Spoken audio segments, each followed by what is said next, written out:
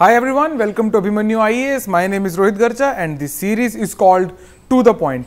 एक ऐसी सीरीज़ जहाँ पे हम लोग करंट अफेयर्स को डिस्कस करते हैं बहुत ही टू द पॉइंट तरीके से फॉर योर प्रीलिम्स एग्जामिनेशन कि ऐसे कौन कौन से सवाल हैं जो आपके प्रीलिम्स के अंदर जो है वो पूछे जा सकते हैं इस साल का प्रीलिम्स तो देखिए uh, अभी कुछ ही दिनों में हो जाएगा और उसके बाद में uh, इस साल प्रीलिम्स में कैसे क्वेश्चन आए वो भी आपके सामने आ जाएँगे लेकिन जिनका अटेम्प्ट 2024 का है, जो 24 को टारगेट कर रहे हैं आई वुड सजेस्ट कि इन वीडियोस को या इस प्लेलिस्ट को अपने आप, अपने पास ज़रूर सेव करके रखिए। आप सब्सक्राइब कीजिए अभिमन्यु आई को बेल आइकन दबा के रखिए और खासकर टू द पॉइंट की जो वीडियोस हैं, उसे मिस मत कीजिए। वाई इट इज़ बिकॉज़ कि इसके अंदर आपको हफ़्ते के अंदर तीन वीडियोज़ मिलती हैं। तीन वीडियोस के थ्रू आपके तीन टॉपिक्स कंप्लीटली कवर हो जाते हैं। यानी कि आप आ, महीने के अंदर आपके फोर थ्री ज़ा ट्वेल्व बारह टॉपिक है ना? और साल के अंदर आपके कितने हो गए लगभग लगभग 144 टॉपिक्स आपके कवर होंगे जो कि बहुत ज़्यादा कंसाइज फॉर्म में बहुत ज़्यादा फ़िल्टर आउट हो के आप तक पहुँचते हैं। वट आई मीन इज़ कि यूपीएससी के अंदर इतना इंपॉर्टेंट है कि जितना इंपॉर्टेंट है कि हमें न्यूज़पेपर पढ़ना है और एग्जैक्टली न्यूज़पेपर में क्या पढ़ना है, उससे कहीं ज़्यादा इंपॉर्टेंट है कि हमने क्या नहीं पढ़ना। राइट बिकॉज़ न्यूज़पेपर एक ऐसी चीज़ है जिसमें आपको इतना कंटेंट आता है रोज का, इतना कंटेंट आता है रोज का कि अगर आप उसको करने बैठे और रिवाइज करने बैठे तो आपका बहुत ज़्यादा टाइम इसी में लग जाएगा। पर असल जो सिलेक्शन क्राइटेरिया है, वो आपका जीएस की तरफ़ से होता है। राइट तो ये सीरीज़ उस पर्टिकुलर चीज़ में आपको हेल्प करती है जो कि बिल्कुल फ्री ऑफ़ कॉस्ट है आपके लिए राइट तो टू द पॉइंट में जो आगे चलते हैं, जो हमारा आज का टॉपिक है that is alligator gar right ये एक इन्वायरमेंट का टॉपिक है। कॉन्टेक्स्ट इसका ये है कि अभी L C M A lake conservation and management authority कहाँ की? जम्मू एंड कश्मीर की राइट right? उन्होंने डिस्कवर करी है rare type of fish known as alligator gar for the first time during the ongoing cleaning of the famous Dal lake in Srinagar तो श्रीनगर में Dal lake की सफ़ाई चल रही है। उसके अंदर L C M A lake conservation and management authority ने डिस्कवर करी है एक रेयर टाइप ऑफ़ फ़िश जिसको बोलते हैं एलिगेटर गार क्यों ये टॉपिक इंपॉर्टेंट है? इज़ बिकॉज़ कि ये एक नॉन नेटिव फ़िश है।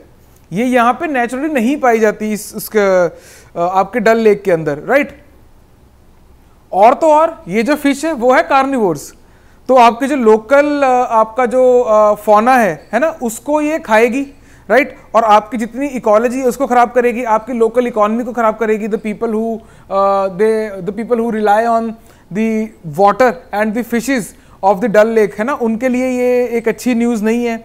और क्योंकि इन्वेजिव स्पीशीज है तो हमें ये भी देखना है कि ये इन्वेजिव स्पीशीज आई कहाँ से है, क्योंकि ये जो है this is native of central and north America तो वहाँ की फ़िश यहाँ पे कैसे आई है? यूपीएससी पॉइंट ऑफ़ व्यू से हमने ये भी देखना है कि ये एलिगेटर फ़िश ये है क्या? Right right? इसकी क्या फीचर्स हैं? इसे और क्या कहा जाता है? तो चलिए, शुरू करते हैं इसमें आगे। तो कॉन्टेक्स्ट इसका यही है कि उनको एलिगेटर गार जो है फ़र्स्ट टाइम मिली है ongoing cleaning of the famous Dal lake Srinagar के अंदर। चलिए, आगे चलते हैं। ये एक स्टेटमेंट है, आपके एल की किसी ऑफिशियल के थ्रू ये स्टेटमेंट थी। आई एम फॉरगेटिंग की एग्जैक्ट स्टेटमेंट किसी थी पर ये आपको बहुत अच्छे तरीके से समझाता है एक पर्टिकुलर स्टेटमेंट की ये प्रॉब्लम क्यों है right this fish species is not native पहले तो यहीं पे बात शुरू हो जाती है कि नेटिव नहीं है मतलब इन्वेजिव है। मतलब अगर इन्वेजिव है तो आपके लोकल इन्वायरमेंट को खराब करेगी ही करेगी। It will be a burden on it the concern is that alligator gar fish being carnivores devours on other fish species it grows rapidly and has a long life ठीक है जी? Its presence can be very harmful for the ecology of the Dal lake है ना? And the people around it जिनकी economy इसके ऊपर जिनकी livelihood इसके ऊपर डिपेंडेंट है उनके लिए भी एक अच्छी न्यूज़ नहीं है। चलिए एलिगेटर गार इसके बारे में देखते हैं कि ये है क्या है ना? अगर, अगर जैसे यूपीएससी का 2017 से पहले एक ट्रेंड था कि वो साइंटिफिक नेम एग्जैक्टली पूछ लेता था। अभी पिछले कुछ सालों से ये सवाल नहीं आया कि किसी स्पीशीज का साइंटिफिक नेम पूछा होता है राइट बट uh, हम कुछ कह नहीं सकते हैं और क्योंकि ये एक इन्वेसिव स्पीशीज है और ये न्यूज़ में चल रहा है काफ़ी ज़्यादा चल रहा है तो हो सकता है कि ये आपको पूछा जाए कहीं पे। एंड इन केस अगर आप और कोई एग्ज़ाम देते हैं for example Himachal Pradesh administrative services उसके फॉर्म्स निकले भी हुए हैं राइट अगर उनका एग्ज़ाम दे रहे हो तो उनके अंदर भी चांसेस बनते हैं कि वो पूछ लेते हैं। और इसके अंदर और भी इन्फॉर्मेशन है जो वो शायद पूछ सकते हैं। It is a ray finned euryhaline fish and is one of the largest of all fresh water fish euryhaline का मतलब ये होता है, वैसे तो हम इसको डिटेल में देखेंगे अभी euryhaline are this organisms जो कि आपके स्पेक्ट्रम ऑफ़ सेलिनिटी के अंदर सर्वाइव कर सकते हैं। They can survive in fresh water and salt water और इन बिटवीन जो ब्रैकिश वाटर आता है, उसके अंदर भी सर्वाइव कर सकते हैं। तो that is euryhaline ray fin it is related to कि उनके जो फिन होती है उसके ऊपर में they have a they have a रे ऑफ़ स्पाइन है ना? बोन की एक रे होती है, इसलिए उसको रे फिंड कहा जाता है। ये इतना इंपॉर्टेंट है जितना यूरी हेलाइन ये फ़िश यूरी हेलाइन है, वो इंपॉर्टेंट है प्लस यूरी हेलाइन होता क्या वो इंपॉर्टेंट है। आगे जाके भी देखेंगे। एक सवाल इसके अंदर ऐसे बन सकता है कि euryhaline which of the following is not a euryhaline fish है ना? तो वहाँ पे वो चार एग्जांपल आपको चार ऑप्शन दे देगा, इसमें तीन यूरी हेलाइन हो गए इंक्लूडिंग एलिगेटर गार जैसे एक दो एग्जांपल्स और है हमारे पास की, जैसे सैमन फ़िश है ना? आप लोगों ने डिस्कवरी वगैरह पे देखा होगा they go upstreams to lay eggs and then they die there only तो वो समंदर से ओशन से एंड सीज से they travel through the streams upstreams है ना? एंड माउंटेन्स तक पहुँच के दे ले एग्स वहाँ पे राइट तो they tackle all kind of water in between salt शुरू करते हैं and then they go to the freshest water that is available right तो यूरी हेलाइन का मतलब वो है। ईल्स इज़ अनदर एग्ज़ाम्पल वो भी आपकी यूरी हेलाइन होती है। तो आप देख लेना एक बारी कौन कौन से एग्जाम्पल्स हैं। तो आपका आ, ये सवाल बन सकता है आ सकता है ये। It is the largest species of the gar family अब देखो ये भी एक सवाल बन सकता है। अगर मान लो एलिगेटर गार के ऊपर सवाल आ गया तो ये स्टेटमेंट आपको वहाँ पर ज़रूर दिखेगी कि it is the largest species in the gar family तो आपको शक सा रहता है कि यार लार्जेस्ट है भी या नहीं है ना? The fossil record traces its group existence to back to the early cretaceous over one million years ago क्या मतलब है इसका? Therefore gars are often refer to as primitive fishes और लिविंग फॉसिल्स जिनको कहा जाता है because they have retained some morphological characters of early ancestors है ना? अब ये भी आपका सवाल बन सकता है कि alligator gars are called living fossils या फिर आर कॉल्ड प्रिमिटिव फिशेज है ना? तो हमें पता है कि प्रिमिटिव फिशेज अदर टाइप की फिशेज भी हैं जिनको प्रिमिटिव फिशेज कहा जाता है. एलिगेटर गार भी एक प्रिमिटिव फ़िश है. क्यों? क्योंकि उन्होंने कुछ मॉर्फोलॉजिकल करेक्टर्स अपने अर्ली एंसेस्टर से, जो कि अर्ली क्रिटेशियस से हैं, उनसे एज इट इज़ रिटेन कर रखे हैं. मेन डिस्ट्रीब्यूशन कहाँ है इसकी? सेंट्रल एंड नॉर्थ अमेरिका ये इंडिया में डल लेक में कैसे आई है? इसकी अभी इन्वेस्टिगेशन हो रही है. हमने एक रेड ईयर्ड टर्टल के बारे में एक वीडियो करी थी I think around six months back जो कि एक इन्वेसिव स्पीशीज है इंडिया के अंदर. तो उसको ऑर्नामेंटल ऑर्नामेंटल पेट की तरह है ना? एक पेट की तरह उसको ले आते हैं लोग घर पे. लेकिन क्योंकि पाले नहीं जाते हैं तो लोग क्या करते हैं? आसपास किसी भी uh, जाके किसी जोड़ में किसी छप्पड़ में, किसी टोबे में, किसी टोए में, किसी लोकल छोटी सी लेक में पॉन्ड में जाके छोड़ देते हैं। है ना कि यार घर पे तो पाला नहीं जा रहा वहाँ पे। लेकिन they grow rapidly they reproduce rapidly है ना? और वो अब इन्वेसिव इन्वेसिव स्पीशीज बन चुकी है। वैसे ही ये यहाँ पे कैसे एंड अप हुई है, इसके ऊपर भी इन्वेस्टिगेशन होनी है। अभी we don't know about the causes लेकिन इनके ऊपर सवाल ज़रूर बन सकता है कि यूरी क्या होता है प्रिमेटिव फ़िश है या नहीं लार्जेस्ट है या नहीं। प्लस इसका साइंटिफिक नेम है ना? तो अगर आप नोट नोट्स बना रहे हैं अभी इसको देख के तो आप इसको पॉज कीजिए और ये साइंटिफिक नेम भी नोट कर लीजिए। आप तीन चार बार जब रिवाइज करते हुए पढ़ेंगे, आपको खुद ही याद हो जाएगा, ज़्यादा कुछ करने की ज़रूरत नहीं पड़ेगी। फीचर्स क्या है? इसकी ज़्यादा इंपॉर्टेंट नहीं है, मैं मेन मेन कवर करूँगा। Crocodile crocodile like head razor sharp teeth ये हमने देखा था।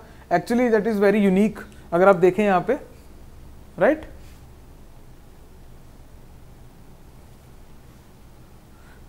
hmm. बाकी और कुछ नहीं है इसमें, बाकी इंपॉर्टेंट नहीं है। They can live for many decades I U C N conservation status least concern ये एक इंपॉर्टेंट है राइट right? ये भी एक इंपॉर्टेंट पॉइंट है कि इट्स लीस्ट कंसर्न है ना? तो कुछ और और करके इसको दिया जा सकता है। मतलब अगर एलिगेटर गार के ऊपर सवाल आएगा तो वो ऐसे आएगा कि which one of the following is true in regards is false with regards of alligator gar और नीचे आपको तीन चार statements only one and two only three and four इस टाइप के आपके ऑप्शन वहाँ पे आएँगे। तो एलिगेटर गार का जो आईयूसीएन स्टेटस है दैट इज़ लीस्ट कंसर्न ठीक है जी? यूरी ऑर्गेनिज्म जो आपको बता रहा था they are mostly marine with the ability to adapt to a wide range of water salinities जो मैं बता रहा था कि पूरे स्पेक्ट्रम के थ्रू कि आपका फ्रेश और सेलाइन है ना? और इन बिटवीन ये आपके हर जगह कहीं पे भी सर्वाइव कर सकती हैं। They have the ability to adapt anywhere they can survive either in fresh water salt water और brackish water some urinine organisms migrate between fresh water and salt water habitats during their life cycle जैसे for example salmon की बात कर रहा था, है ना? यहाँ पे दिया भी है सम एग्ज़ाम्पल सैमन ईल्स तो आप दो चार और एग्जाम्पल्स देखना इसके। Try to identify those examples जो आपको लग रहा था कि ये यूरी लाइन नहीं है, ये तो या तो मरीन फ़िश है, यानी यार ये तो फ्रेश वाटर फ़िश है। तो आपको इस टाइप जो भी इस टाइप के ऑर्गेनिज्म में कन्फ्यूज़न होगी कि अच्छा ये यूरी लाइन है तो वो खासकर नोट कर लेना। बाकी तो आपको पता ही होगा, अगर आपका ऑप्शन जो है सही जा रहा है तो आपको सब कुछ नोट करने की ज़रूरत नहीं है।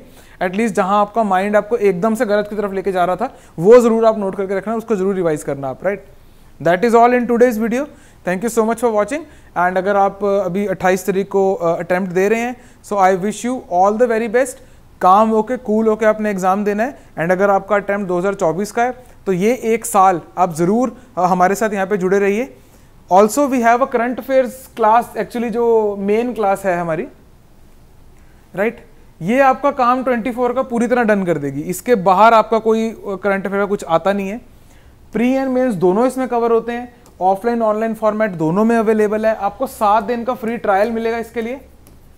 तो इन केस अगर आपको ऐसा है कि यार भी नहीं करंट अफेयर तो मैं खुद ही कवर करूँगा, या फिर अगर आपको धक्के खाना ही है तो वो सब करने के से पहले आप ये फ्री ट्रायल लेके देखिए एक बार। एटलीस्ट आपको ये पता लगेगा कि करंट अफेयर कवर किए कैसे जाते हैं राइट कि क्या पकड़ना होता है, क्या छोड़ना होता है, किस करंट अफेयर को किस तरीके से कवर किया जाता है राइट तो आप एक क्लासेस लगाइए, आपको समझ में आएगा। बाकी अगर अच्छा लगे तो क्लास में मिलते हैं। Thank you so much. My name is Rohit Garcha. This is Abhimanyu IAS.